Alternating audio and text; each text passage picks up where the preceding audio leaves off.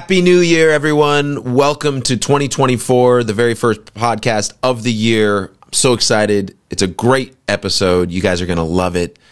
Bracket are my guests, Angelo and Zach from Bracket. Um, we have a great time talking about memories, but also the very present and the year ahead. It's going to be a good one. So before I get to that, let me tell you about this Saturday, MXPX, this Saturday, January 6th in Los Angeles, California at the Hollywood Palladium, MXPX, Less Than Jake, Relient K, and Smoking Popes. This is the last time I can say this show on this podcast, and then it's in the past. So um, by now, tickets hopefully are sold out, but there might be a few left because as of the recording of this, um, still in 2023, before the Seattle show. I think there's about 200 tickets. So we'll see what happens. We'll see what happens. Maybe it's sold out by now. I hope it is. But if not, we have this week. Go get your tickets. I'll see you there. Going to be awesome. Um, and then we have a bunch of shows coming up with the Ataris, MXPX, and the Ataris. You can get tickets at mxpx.com. February 9th, that's a Friday night in New York City at Webster Hall. Come on and see us. There's tickets available right now. Philadelphia, the next night is sold out.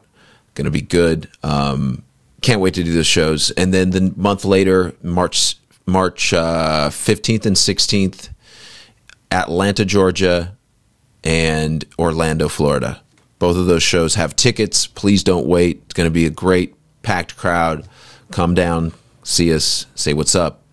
Um, and then we have uh, sold out weekend, Denver, Colorado, April 5th and that's sold out.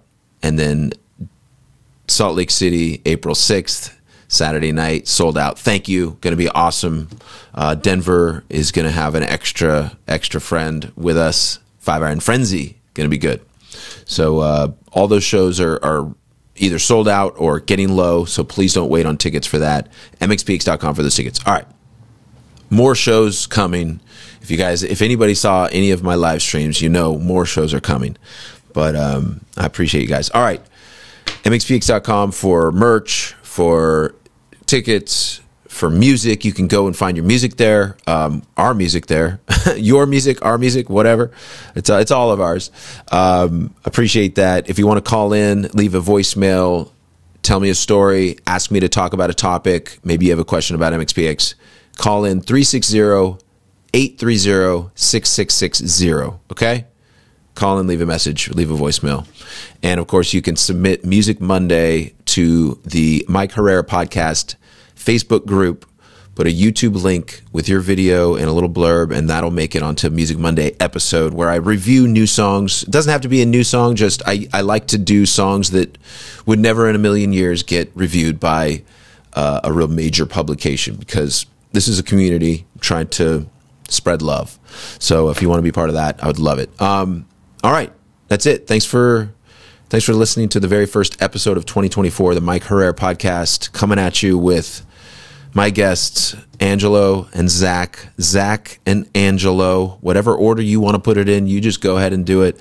Uh, these guys, uh, Angelo, Angelo is the guitar player, and Zach is the bass player, and we don't get to see Marty or Ray. Marty's the singer and guitar player. Ray is the drummer. But Angelo and Zach do a great job, and we we we get right into it. So Bracket are a band that that we go way back. MXPX and Bracket go way back and played a lot of shows together back in the day, and uh, we just love them. We just love their music. We love them as people. So uh, enjoy this episode because I really really loved it. All right, here we go. Here's Bracket. This is, this is, this is. Cool. Thanks for taking the time. I'm this. We were supposed to do this like a year ago. What was this? We've just been way too busy for you. Sorry. I'm yeah. glad you finally took the time, guys. finally took the time. We carved out a little piece of our calendar. Awesome, awesome. You know what's so funny is today uh, MXPX posted a, uh, backstage, just like Tom, our guitar player, and Dave Lake from Diesel Boy talking about bands and stuff. And unprompted, he didn't know we were talking, you know, on the podcast at all. Like he doesn't know this, and he was, he was just like, oh, let's talk about bracket. How good are they? And Dave's like, oh, I love bracket, two rack food. You know, like they just start talking about it. So like if you, well, you guys posted it because we we uh, added you to it, but it's so weird that that happened, and now we're talking on this podcast. So welcome, welcome to it. What's up? it's like thank the, you for having us. Yeah, how you been, Zach? Doing good. Just you know, we're we're it seems like we're not staying busy, but we're all staying busy. You know, I mean, we're doing uh, doing all the regular life stuff, and uh, Angelo and I each had a couple of side projects to fill in the gaps while Bracket's not uh, super active, you know, tour wise and recording wise, like we were in the old days. Um, but we're still doing it. We're still getting in there. We're still getting together every so often to uh, kind of check in with each other. I mean, we hang out outside of band stuff and always have anyway. So for us, that part's great. That's rad. Um, and uh, but you know, just like you and probably you know a lot of our friends, you we can't sit still. We got we have to be doing something, you know, musically and otherwise. Yeah, you you just got to make something happen. You know. Yeah, yeah. You got creative outlets. That's so cool. For Man. me, whether it's music or you know working on working on the old car build i was building motorcycles for a while you know just all kinds of stuff in between work and life and band stuff and family stuff and you know I ask anybody I can't sit still. That's good, man. Don't as soon as you sit still, that's when you start feeling old. Yeah, it's the beginning yeah. of the end. Yeah, so never sit still. Uh, by the way, it's Happy New Year's to you guys because this is coming out January 1st, Monday, January 1st. So Happy New Year. 2024, here we come. Um, we're going to talk all about Bracket and all your other stuff you guys got going on. Um, and I, I guess I'm excited for 2024. I mean, kind of like ready, ready to get a new thing going. You know, a new year always is like a good excuse. So reset button. Yeah, reset button. Right. There's no easy button, but there is a reset button. You can, you know, each day, each year, each period, whatever it is.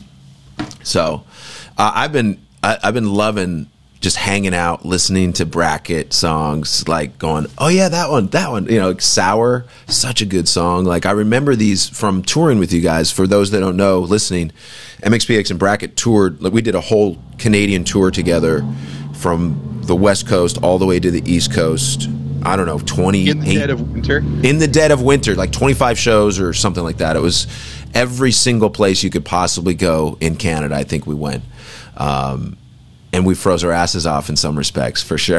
that was a lot of miles, and thanks again for bringing us out. We had a blast.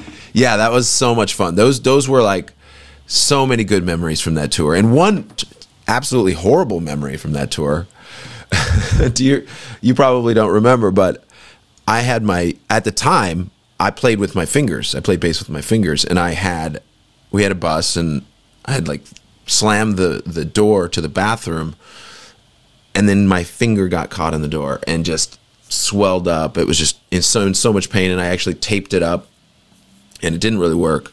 We finally got to like Montreal, and I went to a doctor, and they drilled it out. But that was the beginning. After that tour, Zach, I moved to a pick. I was like, I don't want to be. I, I don't know. I want to be able to do both for one, and I think the universe said the pick's the way to go. You know. Yeah luckily I didn't have to learn the hard way. And I always played with a pick. Yeah, yeah, you you always were great. uh, I I learned the hard way. It was terrible, but the rest of the tour was so much fun. You guys were awesome. It was it was yeah. great. Angelo, sorry you weren't there, bro. You're the new guy, right? Yeah, I think I joined the band just like pretty soon after that, right? Was that kind of like 98, 97? Sure. Yeah, you know, so, somewhere in there. Yeah, sounds all great. I know is missed it, but I'm I'm sure it would have been fun. When did you join the band? I, I think um, right out of high school, wasn't it? Well, pretty much. Yeah, I think it was. Well, it was like '98 or '99, somewhere between there. Somewhere in there. So yeah, just just when Bracket stopped, um, you know, touring like crazy. So, I think you had to use a fake ID to to get in to play with us. Yeah, there was one club we played in the city in San Francisco or something where bottom of the hill. yeah, where oh. they. Uh, I had someone else's ID. This there's a friend of Zach's that kind of kind of looked like me a little bit. I think you look more like him. True. so I looked like him a lot, but we called him Big Angelo. So well, anyway, yeah. Um, yeah. So I used that to to get into play, just to then I could drink and or not really. I didn't do that. Yeah, you weren't you were going to push it that far. No, well, I, I can't remember. That says a lot about your personality. Very reliable. Like you're not going to go too far. Yeah, that's me. Scared of everything. Oh my god, dude! Why? I wish you were on that tour. It would, we had a lot of good times, man. It would. Uh, we'll have to play with you guys again. You know, I was to lo- say, there's always next year. Yeah, Or there's always this 2024 this year, 2024, uh, and next year because uh, Yeah. 2024 for MXPX is almost planned out. Like we have, n- not that it's all completely like finished, but we have an idea of okay, we're going to go here, here, here, here, or we're going to try to do that. Right? Sometimes the shows don't work out. The promoters, the venues, can't get the date, something like that. But yeah, absolutely would love to play with you guys again. I mean, it's so much fun. You know, just I keep playing that video clip that I was talking about the MXPX one with Tom talking to Dave Lake, uh, just because it's just like it's like one of those things where like hearing the words, hearing them laugh, hearing them say the same thing, you get into that loop where you're just like that's kind of satisfying to listen. Like I, I would never say that about Tom's voice normally. It's usually terrible to listen to. so so my biggest takeaway from our tour together was when your drummer Yuri was telling me in high school the gym teacher could not for the life of him remember to say Yuri and always called him Yui. Yui, yeah, yeah, Something, Yui. something weird like that, right? Was it Yui? so then Yeah, we just called him Yui all the time, and he he was like, "All right, I shouldn't have told that story, but it's his fault, right? Like, so good. So, how's Marty? We're missing uh, Marty and Ray. what are those guys up to?" Um, so Ray, so we all live in Northern California, Bay Area ish, and um, except for Ray, who moved to Denver, um, probably about twenty years ago. Whatever. A while ago. Who cares? Who cares how long it's been? But yeah, um, yeah. So every every s- studio record we've done since Ray moved, um, or since since uh, since like the the Fat Records years or whatever, have been um, Ray's in Denver. We'll send him song ideas, and Mhm. um, he flies out and records his uh, tracks. So he's been out there with his family for quite a while, and um, they're doing well. And I guess we'll be seeing him a little more in 2024. Yeah. doing a thing or two. And um, and Marty lives out here too and is um, hard at work. We're hearing that there's going to be a, a studio set up in his new house, so we're we're excited to get back to I don't know tinkering around with tinkering around with each other. I don't know if that Yeah. sounds weird. Yeah. Well, the, the the latest album you guys have out is is classic sounding songs, you know, bracket songs, you know. So like, I really enjoyed it. Um, what's the video? The video with you guys like as like um, horror monsters or something like that. Like that was cool. Like really creative and. I was like, oh, I bet Marty was so into this idea because he didn't actually have to be in the video. Oh, Exactly. it was an easy sell for sure. yeah. What's I the mean- song? What's the song? Uh, it's called Forget. Forget. Everybody look up Forget on YouTube or you know your your music library, and that's the album. That's the latest album you guys have out right now. Yeah, it's uh the album's called Too Old to Die Young, and um, it's our latest album released uh, five years ago. Yeah, I know it's been a little while, but like oh, but no, I mean, yeah, the world ended a little bit. It was like, okay, are we gonna keep doing this? But yeah, Yeah. We um, and that was our first. So we took several years. We took some time off of Fat Records, and uh, that Mhm. was our our kind of welcome back to Fat album, and it sort of came about um, through conversations with Mike. Um, I guess it was around. So we played the 25th anniversary Fat Records show in San Francisco. So Okay. it was like 2015 Right. and and we saw him afterwards and he was just he was like feeling nostalgic and you know happy to see us play for you know, it was like our first show in five years or so and he said you know i heard your last couple of albums you guys have been we were like self-releasing or putting out with other other labels and um he was like i like that stuff but why don't you guys do like just do a little more a little Straight ahead. a little punkier album and uh, we'll put it out on fat so at that point we were in the middle of uh, kind of constructing this crazy seven, 70 minute um, song album. And so we sort of decided that as soon as we wrap that up, we would we would see what it feels like to kind of write a more straight ahead kind of classic bracket Mhm. album. Um, and that's that's where that came from. That's cool. Was is that seventy minute song get released? Yeah. Um, What's that called? no one's heard it from start to finish yet, but Oh, no, I'm kidding. I just think 'cause it's too long. so long. Seventy. You got to like. All right, I got to schedule in some time here to listen yeah, to this right. song. Like maybe like go for a nice walk or a hike, and um, yeah, it's called the last page, and it's a it's about 70 minutes. It's it's basically like 90 or so um, song fragments, kind of that we weaved together to kind of try to make a you know unified An opus. yeah, it was kind of a crazy idea, and once we really got into it, um, we knew it was. We knew all along it was kind of crazy, and that it might. It almost worked. So here's a question: Do you get it to do you get together for practice when you're working on it and do the full 72 minutes straight through ever? Did that ever happen? Never did. No. Um, we we kind of we kind of did we would get Pieces. together we would do it in like yeah little segments like a 15 minute chunk That's Kinda break it down. long for a song, right? 15 It minutes. yeah. you know three and a half minutes is is is a chore for us right, right. Like it's a long song. Three and a like half. half a set or whatever you know and Yeah, we.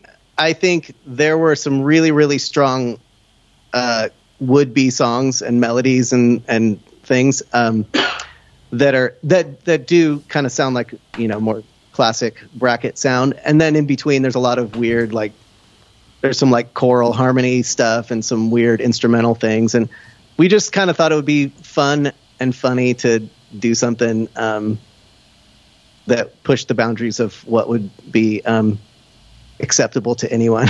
Yeah. it was it, it was a pain in the ass to make, and it's kind of fun to listen to, and um, it's probably my favorite thing we've done, even though it turns a lot of people off because it, you can't skip through the songs. It's like it's just seventy minutes of. Um, but Like you a- can, like a mixtape yeah, in hip hop. it, it is a bracket mixtape. bracket Yeah. mixtape. There you go. That, that actually, I think people can understand that. Like, oh yeah, I get that now. Yeah, it's like that's what a mixtape is. Like a long song, but I like that. I'm gonna check it out. I haven't checked that one out, but I've been listening to all the random bracket songs and and it's been fun. Flea market. I, I love how Marty talks about white lies a lot. Like there's there's a theme of like him either getting lied to by people like in varying degrees and also being the one maybe the character in the song that is that is telling some lies or whatever. But like I I noticed that theme and I was like, I wonder what happened with Marty, you know, cuz he's he's he, he's definitely been lied to. We all have, right? We all have. So, I think that's something that's always you know easy for for him to write about. Some guys like to write about girls and cars and the system or you know stuff like that. And and I think it's e- that's the kind of thing that always has come naturally to Marty for some reason of maybe uh, things that he hopes that people can identify, whether it's you know not feeling up to par or mm-hmm. you know, being wronged, something like that. You know, I, I don't think that Marty is the kind of guy that's like necessarily angry with the world per se, but maybe feeling not good enough or, you know, stuff like that. And I mm-hmm. think it's that just seems like that's always kind of come naturally to him in his in his lyrical content for for whatever reason. Yeah. Like the underdog vibe. I always oh. root for the underdog. Like Yeah. it's just my tendency to like want the team that's not supposed to win to win. Absolutely. And he's always been an anti cool kind of guy, too. You know, so if something is what everybody else is doing, he'll do the exact opposite just because he knows that that's what he can pull off. He doesn't have to worry about being the coolest guy in the room. He's just like, I will not wear a lampshade. But he- not try and fit in. He also could be like I don't know. I haven't seen you play Angelo, but he could be the best guitar player in the room. You know, so like uh, Definitely. so he's really good. So He- He's a gifted guitar player that shies away from playing solos. right. It's crazy. It's crazy. Oh man, I, I think yeah, you guys, you guys are all great. I mean, like seeing you play live and, and play the bass and sing those harmonies, Zach, like that was always inspiring. Like I was like, I wish we could do that, you know, and and we we get there a little bit, but never never quite to the extent because you're going almost like there's some songs where you're like doing harmonies the whole time, right? Yeah. and it's and it's wild. It's like part of the lead at that point. It's not just a back backup vocal. It's like, oh, it would be weird if that wasn't there, because Yeah. it's just part of the fabric of the melody of a bracket song. and it's tough for us because you know we don't we're in we can't see the forest through the trees so we don't know where to draw the line do we let the song breathe on this part and have just the lead vocal come here and then just have some support here and there or do we just four on the floor and we go we go for it all the way through? So it's it's just whatever feels right. We're just you know i think you know how this is as a songwriter and, and as a player where everybody's trying to do something what the other guy isn't doing trying to be unique trying to do your own thing. And for us we felt that uh, we harmonized pretty well and it came somewhat naturally to us. So we kind of sort of expanded on that and then we got known for it you know it's kind of our kind of our shtick i guess And then we went, we, sorry, we went probably kind of like what Zach was alluding to, a little over the top with it um, in some of those. I don't think in a bad way, but we kind of pushed the harmonies to the to the max of our, um, you know, we didn't, we weren't tasteful. We went as crazy as we wanted to. Um, it was like an action movie, like a Marvel action movie, like just constant action, constant Yeah. flash, no, no breaths. no Uh, breaths. it's Yeah. like a marvel finale if ELO was doing it I love it. Yes, those, those like middle, uh, like the albums we put out between like 2006, 2014, and 2016. Those three, I think we were kind of definitely pushing what we could do live because it was more than three part harmonies on a lot of stuff, and uh, and we haven't convinced Ray to um, chime in from the from the kit. No, Yeah. not yet. Maybe soon. Like a Peter Criss kind of vibe with the microphone coming down. Yeah. he needs his own little moment He needs his moment. Yeah. Just tell him to like rip off his shirt, do a drum solo, backflip, walk around with a drum around the stage, I would love hitting the drum. We, we always make fun of him that he's gonna one day we're gonna catch him walking around with drumsticks in his back pocket or something. so Ray singing, anytime he sings, it comes out just like Tom Petty, no matter what he's singing. So that's that's always That's a his- good time. That's his go to. I like that. That's good. Wow. Uh, so, I mean, live shows. Speaking of live shows, I mean, you guys got something coming up 2024, right? This year. What are we doing, Ange? I forgot. Um, okay, what we know we're doing is we're playing. Uh, we're going to Austria. I've never Nice. been. I've never been to Europe with these guys. Um, in fact, I've only been there with my grandma when I was uh, 18. So, um, Is that the fatherland, the motherland? Are you Austrian? no, no, no.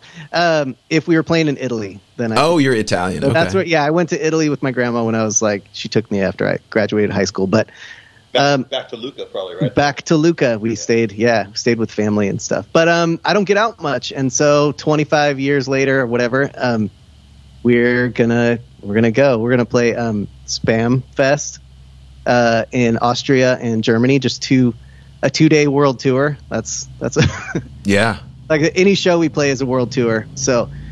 Um, Absolutely. Yeah, those are the only concrete plans right now. So Okay. that's, When's that? That is May 31st in Austria and June 1st in uh, what's the Stuttgart. yeah that one. Awesome. Awesome. Good luck with that. It's gonna be that's gonna be huge, and I, I hope everybody has a good time with that. Um, that's coming up quick, actually. Like, I'm just thinking about the MXPX schedule, and we have like shows every month, and it's just gonna. Before I know it, it's gonna be summertime, and you guys are gonna be in Austria and and Germany. Yeah. It's gonna be great. It's very exciting. Yeah, That's we cool.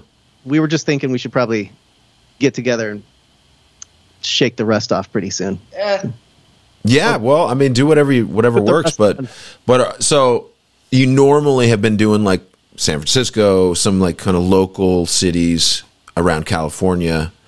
Have you done anything in the U.S. aside from California in the last couple of years, or are you is that what you're kind of planning maybe to do after SBÄM Fest? I think for us, where you know, a couple of us still have little kids, young younger kids. Sure. Every one of us has a regular day job at this point. So for us, doing uh, doing the full fledged tour. Probably not super realistic. Um, but you know, this is sort of like us testing the waters for maybe we want to start doing um, some festival stuff here and there. Mm-hmm. Maybe a fly out, play with our buddies in MXPX, something like that, for example. You know, um, we've been talking to uh, the Diesel Boy guys are interested in doing some stuff. You know, um, so for us to do like a one off here and there, probably totally our speed at this point. Um, Yeah, I think so. also- yeah, and and we've got um, each of us has a whole back catalogs of riffs and song ideas and stuff. So I think we're going to be focusing a lot on some songwriting and maybe recording some demos later on in the year. Is kind of what we're looking at. Rad. No, I think you guys are. That's the right idea. You have young kids. You have jobs. Do whatever you can. To, you know, Yeah. use use the festivals to get in front of you know people that are going to be there and punk fans. And I mean, you know, I, I- think for, it makes sense, like kind of like where we're at uh, as a band and individually. It's just kind of makes the most sense. yeah, for sure. Plus, it's thank you. Um, plus, it's more than what we've done, and you know that's. I think we have plans to be. What we're talking about is a little more active than what we've been in the last couple years. couple of Yeah, yeah, So, I think it's a step in the right direction, and you know, seeing how um, both what the response is and um, and uh, assuming that we have a good time, which I'm I'm sure we will. Then we'll kind of see where it goes, but yeah. Absolutely. dipping our toes back into it. That's the right idea. That's what we did when we came back in 2020. Was it one or two? 2022. I don't remember exactly, but our first show back was like we did a couple shows. They went good, but we are just like the craziness is like the cost difference in doing shows now is almost double what it used to be. So, you know, it's just a, it's just a lot more to think about than just oh, let's do a show. You know, and I'm sure with you guys, you have your own set of things to think about every time you decide do we want to do this show yeah we want to but Right. is it a good idea to you well, know you know, we, you know, we are always getting somebody saying, "Hey, when are you guys guys going to play? When are you guys playing in Ireland? When are you guys going to come visit us in Australia?" And we're like, "Send us a ticket." yeah show. You know, I mean, because the reality is, you know, um, we don't have like extra money to go buy a plane ticket and then, you know, go, go out of pocket and you know, hopefully it pays off. I mean, there's a whole there's a whole business aspect in order to make the stuff work. And uh, you know, I mean, w- w- I'd I'd play anywhere. I'll play anywhere, anytime. But you know, not if I have to pay. yeah you don't want to pay to do it pay to Yeah. play uh, i mean like with anything it just takes time to build something like that up you can't just go hey let's go to ireland you have Right. like mxpx couldn't just i mean i we would have to like figure out who we're going to work with in ireland where we might play if it makes sense you know like there's a lot of questions to answer before you just go there based on one person you know but if obviously like we get like lots of people when we're doing live streams from brazil from south america like from all over of course but like you you take it with a somewhat of a grain of salt but but if you actually look at data of like who's listening to your albums who's listening to your songs then you can be like oh yeah there's people people are there listening you know so i mean europe europe obviously australia and or Sure. Aus- austria not australia uh, i think i know the difference but uh, it seems like they they've really been just holding true to like punk rock and like the I, I don't know what st- what the style is called, but like late '90s punk rock, uh, Right. Whatever that is, uh, melodic punk rock, um, and and I think you guys are gonna do great over there. They're gonna love you guys.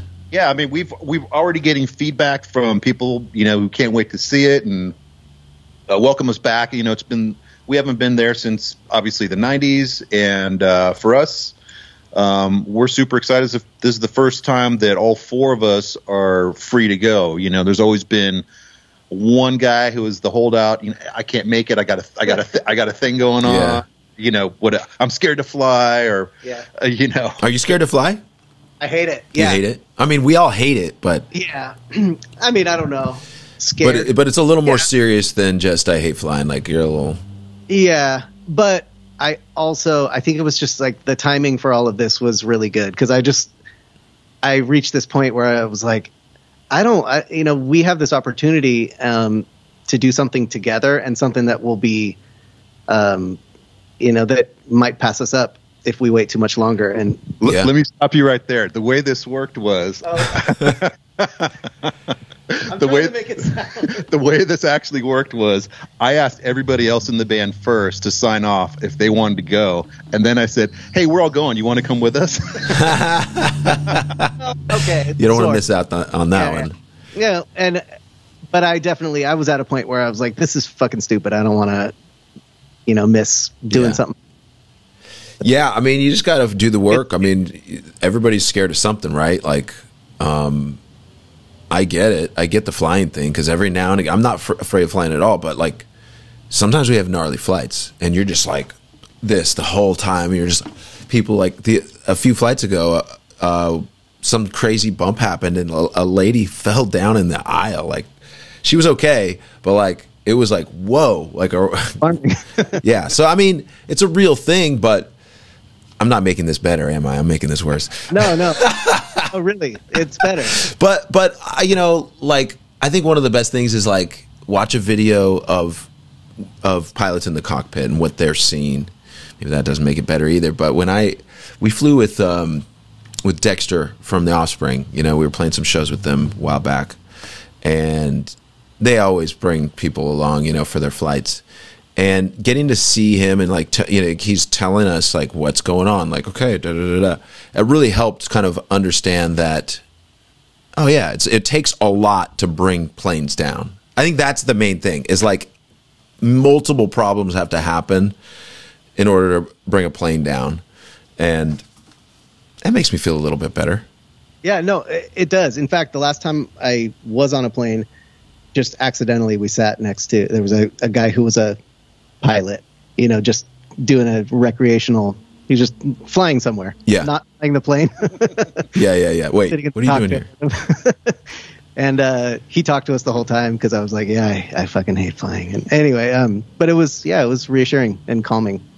So we're gonna bring a little personal pilot with us, and we'll be fine. Yeah, just bring a pilot. Bring Yeah. bring somebody along. No, I'm really Dude, excited. I'm, that'll be great. I'm ready to be over it. No, but I think I think a lot of bands are are realizing, even bands that used to tour full time, are realizing, okay, maybe it's time to do weekends and do flyouts and do like the Descendents um, for last you know four or five years have been doing what MXPX has been doing for even longer, which is weekends. You know, we just go for the weekend, um, and we could tour, sure, but it would just we're not like it's kind of like you guys like we have some personal situations where it's kind of better that we don't tour but if we planned it we could tour. You know we, we just it's just different you know but i don't really feel like i don't really feel like touring is a must anymore. I really feel like you can fly out to shows you can go there come back be home with your family. It's like what athletes do. It's Sure. what what a lot of like big big big country and rock stars and, and pop stars that's what they do they're they're touring you know a couple couple nights you know on the weekend and then they go back to nashville like the country stars you know dolly parton kind of vibes Well, you know, we sometimes have the discussion about bands that are that are in between where we're at and where a, a a more popular band is at, where they're kind of in that. I don't know if I want to call it like the gilded cage scenario, but like they must tour, otherwise the rent's not getting paid. But Their their life revolves around the road, and with the rising costs of what it takes to tour, um, they're getting less and less for for their effort, which Yeah. is scary. that's really scary it's a pro- it's a real problem because if you don't diversify as an artist and you Right. only make your money touring you have to tour and you're just stuck in this cycle and there's there's a lot of uh, there's a lot of different bands and and outfits that that get stuck in that.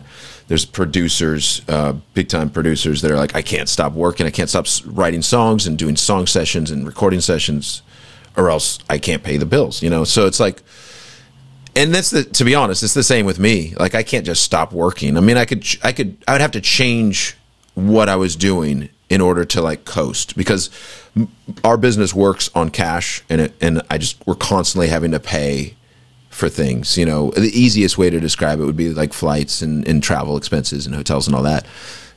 Personnel paying for them, you know, that never goes down. It usually goes up.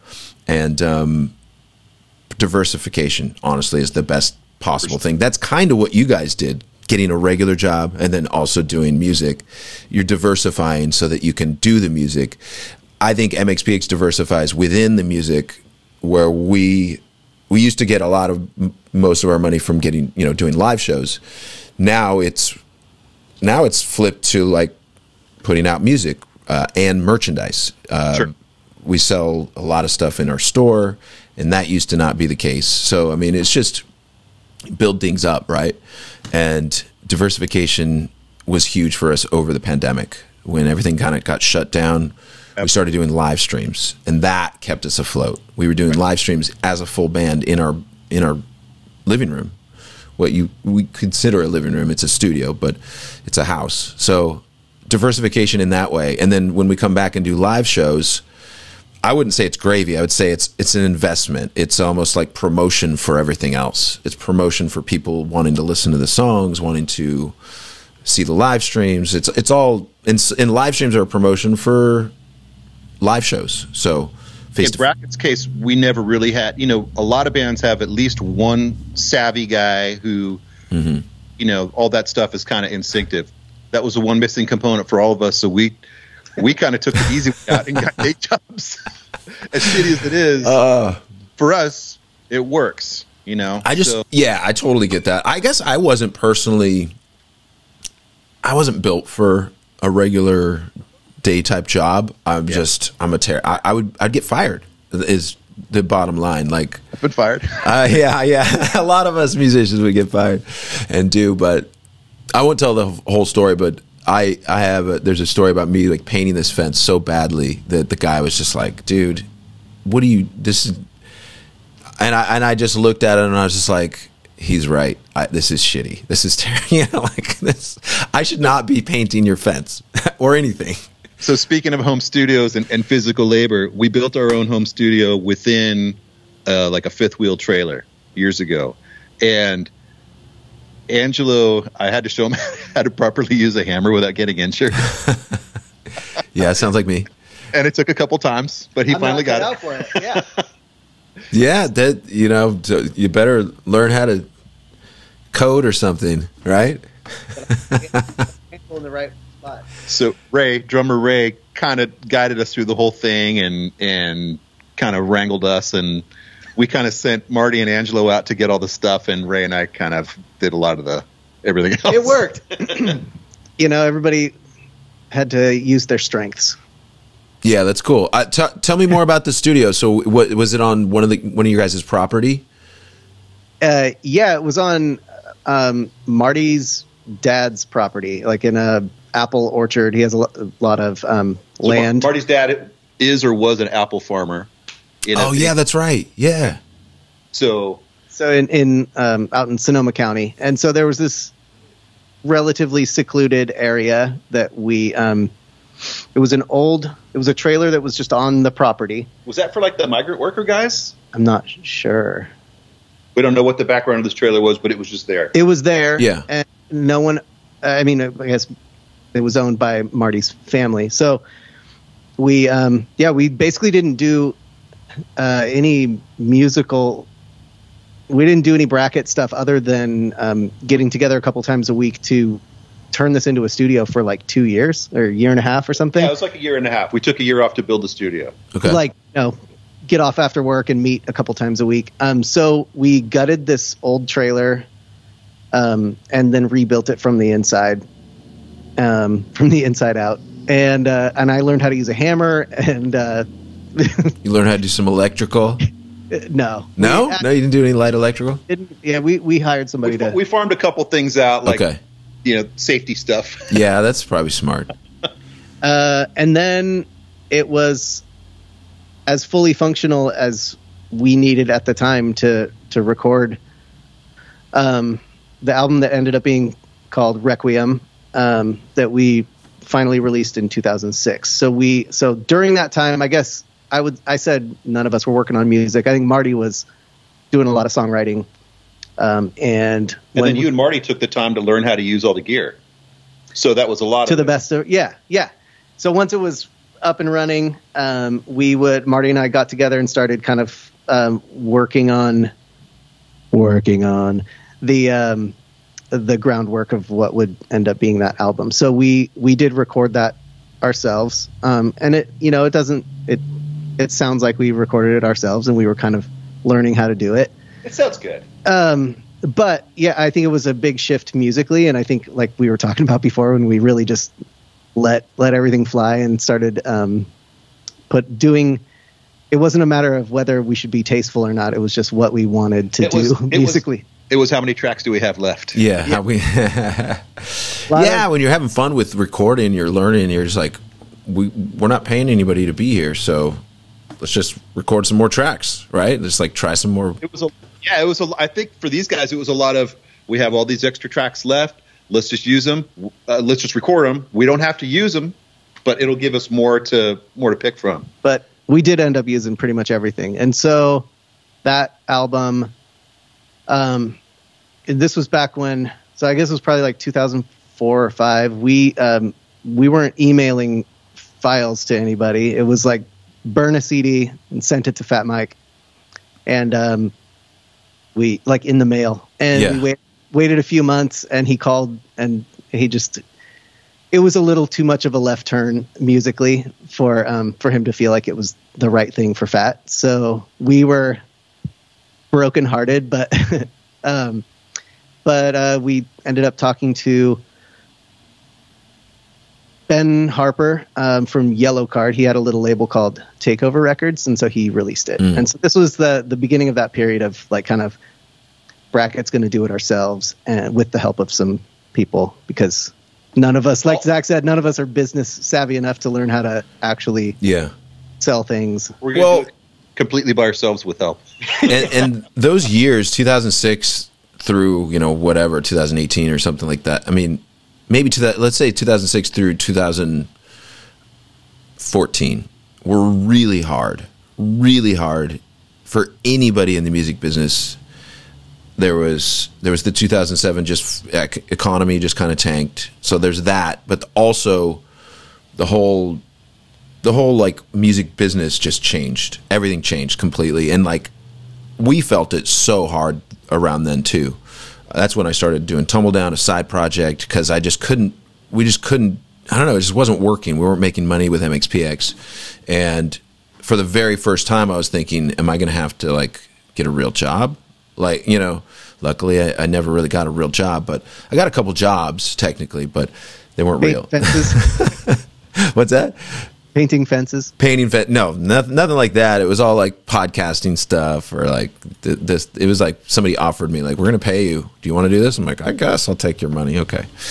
Uh, but um, i've been lucky I'll, I'll, t- I'll say that. But 2006 2007 like that's when the music tanked. It, it was it was really hard to to have shows doing well. People promoters weren't promoting. They were only promoting the top top top stuff. They were everything else was just thrown out the door and It also kind of made it a weird time for punk too. If you look at all the stuff that was being released, then Mm-hmm. a lot of bands were doing either different music or labels were putting out different types of acts. You know, Fat was putting out some some stuff that was a lot different than what they were putting out at the time. Mm-hmm. It was kind of a it was transitional in a lot of ways. I think not just the industry, but like our our, our genre, whatever you want to call it, Yeah. punk in general, was just a lot of change going on at that time. just not just not in the direction of this type of music we were making Yeah, yeah, yeah.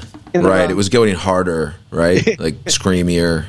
yeah and then Yeah. and then that's when we decided to start trying to sound like the beach boys but i mean i don't think There's a think we- place. yeah yeah Th- That's another thing is you have to embrace your edges, like embrace that you're on the fringe of punk.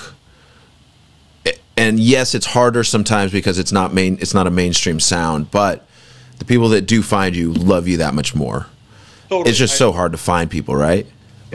right yeah we feel that the the people that do connect with it Yeah. you know it's it's a real thing it's, It's not just deep. like oh this band is cool because no one thinks that Come on. but but no i mean but like it they uh appreciate that we're doing something Bracket heads, right? Is that what they're called? Bracket heads? They are now. Yeah. Like. Yeah, bracket heads.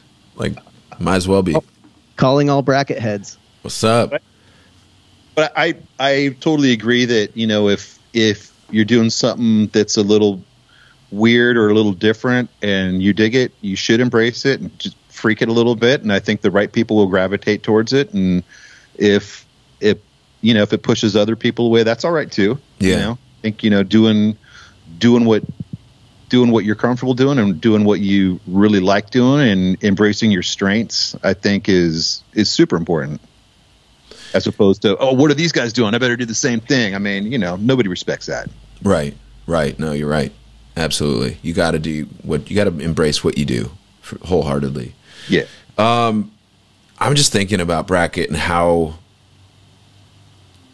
how it's not necessarily it's like just thinking about like how do you reach people and how do you after you've done after you've you've you've put out so many good records and you've got a lot of classic songs. The hardest part is to take that legacy and get it back in front of people that used to see you all the time and they're just they're they're in some other land. They're in la la land of like i've got five kids and i'm going to work and i'm doing this or whatever. I used to listen to punk. Like that's probably the hardest thing i think for any of us band people artists creative people is is just like finding people that it's hard enough to like find new people right but like it's just as hard to find people that already like you and you can't get a hold of them either Well, it's tough because they, uh, you know, I think everybody still likes what they used to like, but they're maybe discovering other stuff that maybe they didn't like at the time. Like I, I just discovered Depeche Mode and I love them now because my wife kind of introduced me to them. You know, yeah at the time I was like, eh, gross. and I think I people people could do that with bracket. Is like I I knew about them, but I didn't really like them because they weren't punk enough. But now, that's exactly what I want to hear. You know, like you can find people like that. It just I takes feel, I feel like that's kind of happening Thought, for us a little bit now too, where Yeah. you know, I don't want to say it's okay to like bracket now, but it's sort of like people are people are all right to people are comfortable to explore a little bit. yes, yes, absolutely. Like musical tastes are much broader. I mean, punk punk rock used to be a more mainstream sound, and and maybe it's coming back a little bit, but it's been rock and roll in general has been just so much smaller than than hip hop and pop music in general. You know, for forever, right?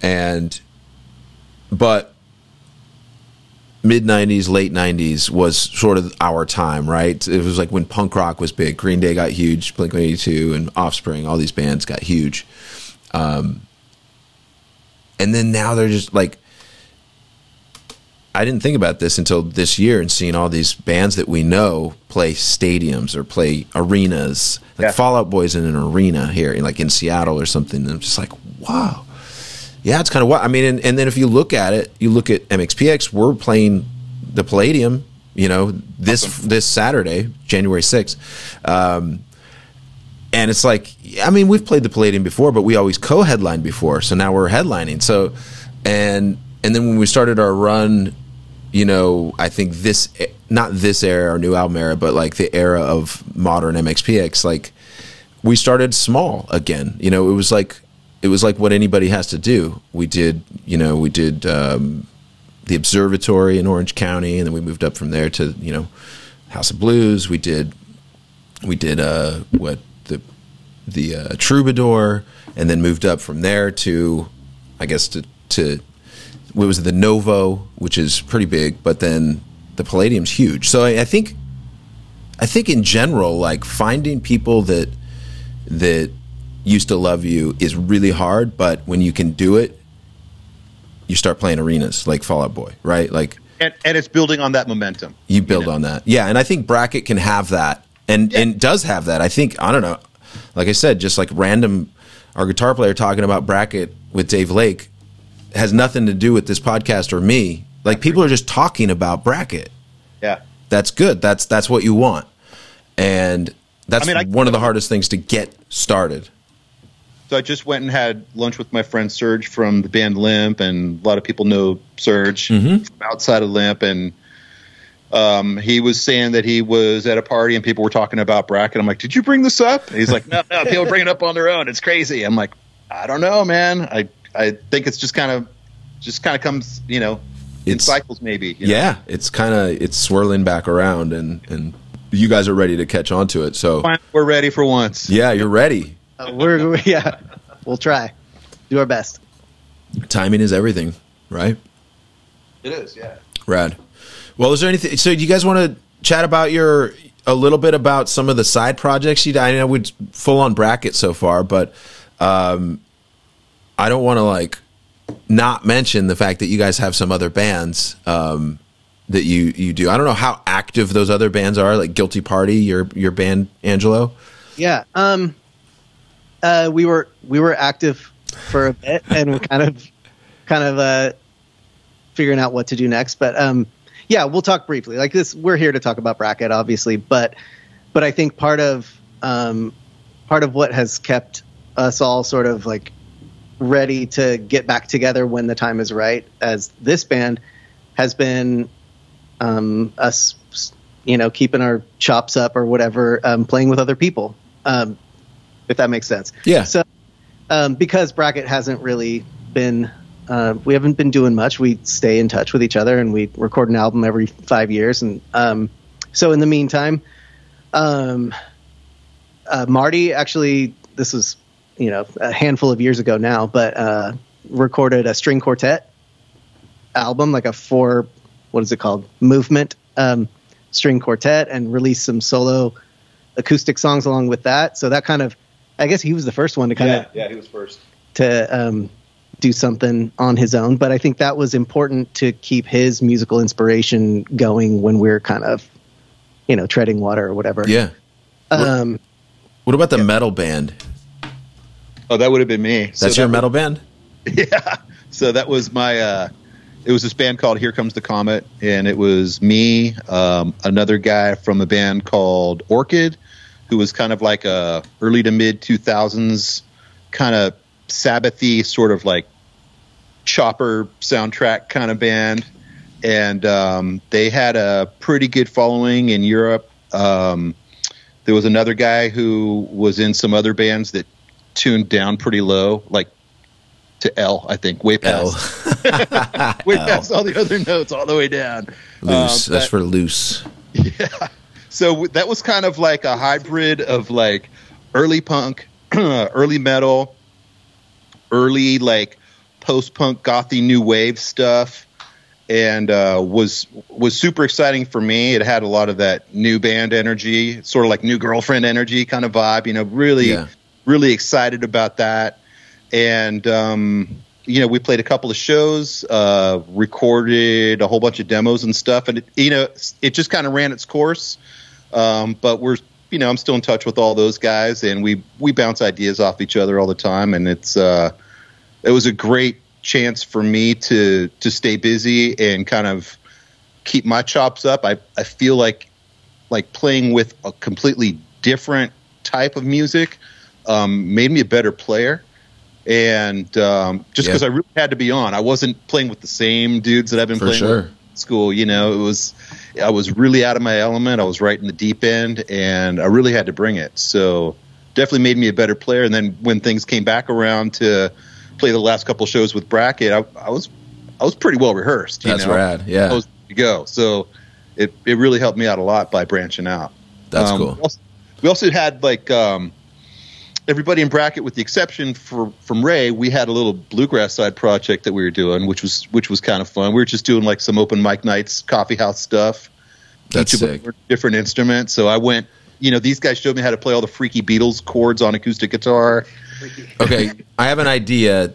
I mean, maybe you already did it, but did you do bracket songs bluegrass? I think we did a couple. We did one or two. We did Tractor. Have you heard of like El El Mariachi Bronx or whatever? Like you should do that with bracket and bluegrass.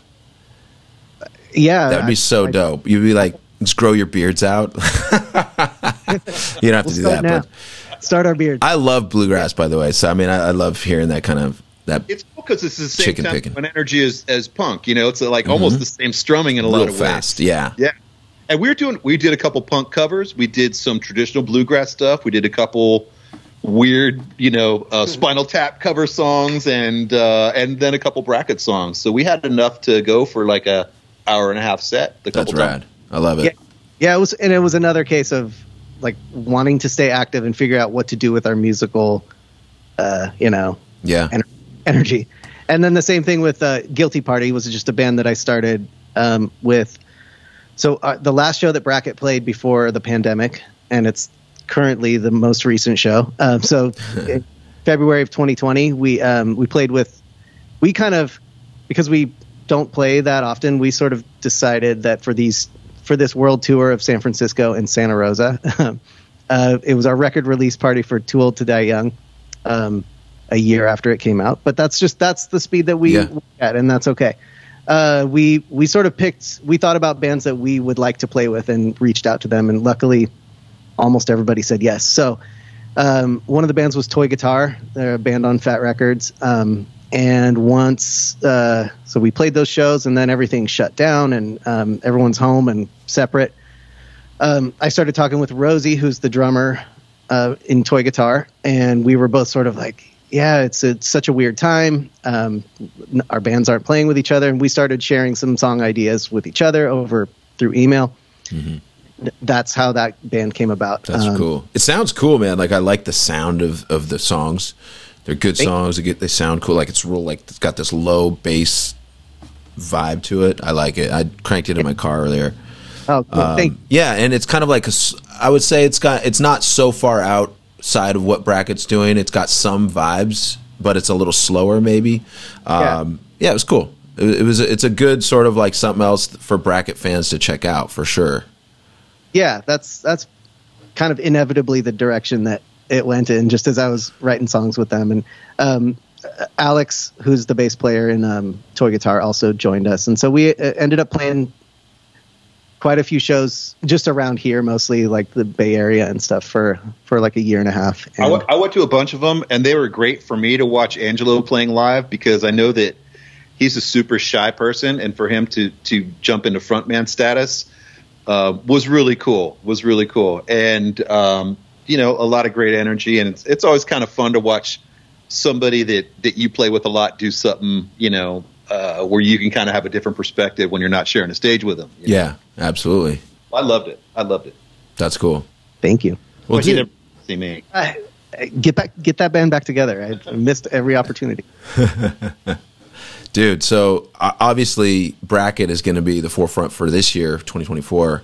Um, I'm excited because I I randomly checked my messages and there's Angelo like, hey, uh, we're gonna do that podcast. I'm like, oh, oh, oh yeah, I forgot about that. I mean, I don't look at the, you know, it's like there's like three or four places to find me, but um, I'm just so happy that you guys are are ready to do some shows again. But even if you don't do any shows, just listening to your records brings so much happiness and um, Thanks, Mike. and, and just it it brings me personally back to that tour. Yeah. watching you guys every night. But but aside from that, just the songs, the songs themselves, man, they're they're really good, and they stood they stood the test of time. They're still good, and I think that's the best part about it is like, wow, okay, there is a reason to keep going because there's not a reason for every band to like get back together. Like let's let's Let's be honest. I'll be honest, and I won't name names because I whatever. But you guys, I was like, yes. And Diesel Boy, by the way, we're playing with Diesel Boy. Um, well, we just played with Diesel Boy. yeah, we're this is pre-recorded, obviously, but uh, yeah, uh, that to me, it's just cool to get together with bands that you used to hang with a long time ago. Now we're all grown up, but we're still So Angelo and I just a couple weeks ago went to go see Diesel Boy when they came through uh, San Francisco. Yeah, yeah. Fun, you know, it was great. It was a really good hang. They were playing with uh, Versus the World, who's playing with us also at SBÄM Fest. So we were kind of Okay. able to introduce ourselves to those guys and say uh, "Viva see you" in Austria or whatever. you know, it was cool. What's up, Donnie? Yeah, shout out to those guys. Cool guys. yeah. I um, think we hadn't seen Diesel Boy since probably the last time we played with them, which again was a while ago. a, a while ago. Yeah. That's good. Yeah, it's just good vibes, man. I, I appreciate you guys taking the time, and, and I'm glad this happened. It was it was cool. Thank you. Um, where can people find you? Socials. Uh, yeah. website? So yeah, let's see. Um, I guess Is, like our, is our MySpace page still up? Yeah, MySpace. yeah, check our MySpace page. Um, we're probably most active on Instagram, which is not that active, but that's where you're going to see any any pertinent information. So it's bracket the band um, on Instagram, and uh, we have pretty much most of our catalog on Bandcamp. Um, and then on Spotify, to, you know, to stream stuff, um, we've got most everything except the two early, um, two the first two bracket records are still sort of in limbo. But um, Officially, those are out of print. Um, we are going to be doing some kind of a limited vinyl release with SBÄM on that for the 30th anniversary of our first album, 924 Forestville Street. So that's going to coincide uh, with the shows that we're playing in Europe. So Okay. that'll be a cool thing. Yeah. And um, so, you know, hopefully getting some more reissue stuff out that uh, hasn't been available in a while. That sounds rad. I would say that the most common um, you know message we get is asking why aren't those those first two records on Spotify. Um, so we're we're doing our best to figure that out this year. Cool. Awesome. I hope you do. Awesome, guys. Well, thank you so much, man. It's so, like I said, just so cool to like kind of get to talk to you, Zach, and meet you, Angelo, and Yeah, yeah, send sure. my love to Marty and Ray. Of course, would love to see them again. Yeah, we'll get them next time. Yeah. All right. Best, Best to Tom and Yuri. Yeah, yeah, Yuri. I'll I'll say what's up to Yuri. Was just in here doing some drum stuff, like Awesome. right before I, we got on this. Anyway, hey, thank you guys so much. We appreciate it. Everybody, check out Bracket. Go li- add their stuff to your your catalog, and if you're in Europe, go see them in Austria this year. Stay tuned. Thanks. Bye. Thank you. All right, see you guys. Yeah. All right, that was a lot of fun. We are just kicking it. Uh, Zach, Angelo, thank you for your time. I appreciate you. It was so much fun. Had a great time talking to you guys. I love that Bracket is back. And um, it's not that you ever went away, it's just you guys have had some lulls. But back in 2024 doing some shows working on some demos working on some new music um, love to hear it and like i said in the during the episode these songs really do stand the test of time they're great it doesn't matter when they came out these songs bracket songs are so good um, i encourage you guys to go check them out um, all right that being said um, I appreciate you guys. MXPX.com. If you're ever looking to support what I do with the podcast or anything, it's always MXPX.com. That kind of just funnels everything and and funds everything. So I appreciate you guys and and uh, shout out to Bob McKnight. Much love to you, Bob. I hope you got everything you wanted for Christmas and are ready to kick some ass this new year, 2024. Here we go. All right. We'll see you guys soon.